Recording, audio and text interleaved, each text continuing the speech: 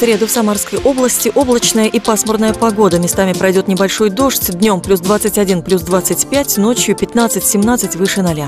Ветер западного, юго-западного направления и скорость 4-6 метров в секунду.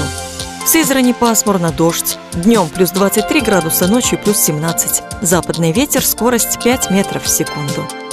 Тольятти облачное небо, осадки в виде дождя, плюс 21 градус в дневное время, ночью 17 выше 0. Западный ветер 4 метра в секунду.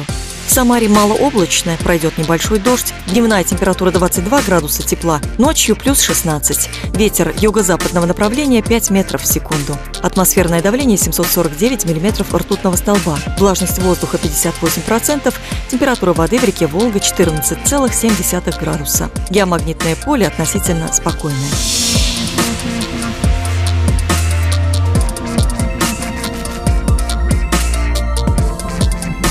Прогноз погоды предоставлен погодным порталом kismeteo.ru.